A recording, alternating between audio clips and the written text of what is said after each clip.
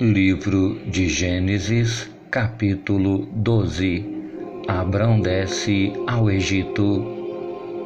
Naquele tempo, houve em Canaã uma fome tão grande que Abrão foi morar por algum tempo no Egito.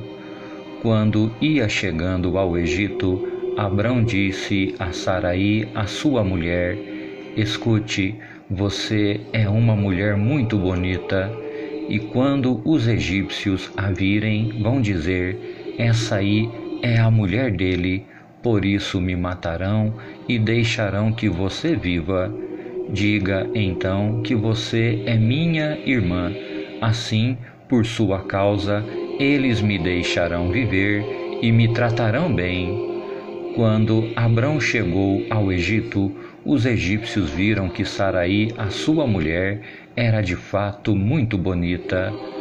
Alguns altos funcionários do rei do Egito também a viram e contaram a ele como era linda aquela mulher.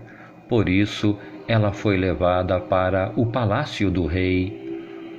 Por causa dela, o rei tratou bem Abrão e lhe deu ovelhas, bois, jumentos, escravos e escravas, jumentos e camelos.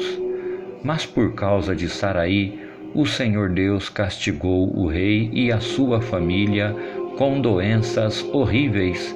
Por isso, o rei mandou chamar Abrão e perguntou: Por que você me fez uma coisa dessas?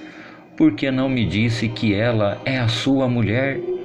Você disse que ela era sua irmã e por isso eu casei com ela. Portanto, aqui está a sua mulher, saia daqui com ela. Então o rei deu ordem e os seus guardas levaram Abrão para fora do Egito, junto com a sua mulher e com todas as coisas que eram dele.